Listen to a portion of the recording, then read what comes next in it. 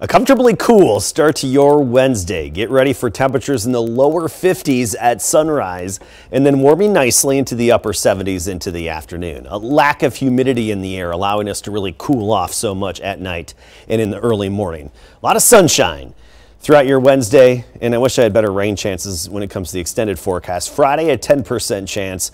Saturday, we're looking at a 20 to 30% chance. And Friday is one of those situations, it's unlikely anything develops, but in the off chance something does, it would probably be strong to severe. By the way, Friday, you'll notice the humidity back in the air.